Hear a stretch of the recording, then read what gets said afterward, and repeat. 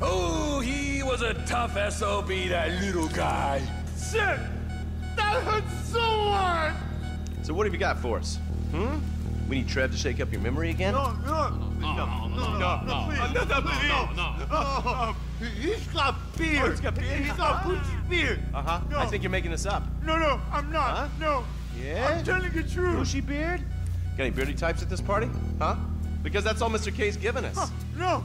You know, I'm thinking maybe we ought to just take two bullets and put them in our Please, informant no. and just call an airstrike on Chumash Beach. We're back in. Give me some eyes.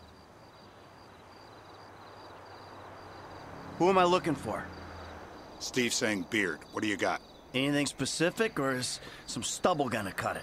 Let's start at Mountain Men and we'll work our way down until someone fits the profile. Ah, there's a few beards at this party. Vinewood's full of weak chins. Place is famous for it. Damn. Beards are in fashion in Chumash. Land of beach hipsters. We need. What the hell? That was the guy. I had a feeling. It'll check out. Well, we've. got him. It's done. Woo! That is a wrap, my friends. Excellent work, the pair of you.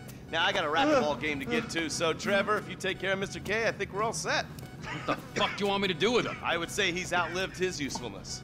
Oh, come on, please. Shut up!